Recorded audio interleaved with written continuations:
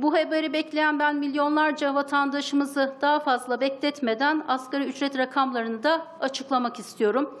1 Ocak 2020 tarihinden itibaren geçerli olacak asgari ücret bürüt 2943 lira, net 2324,70 lira olarak belirlenmiştir.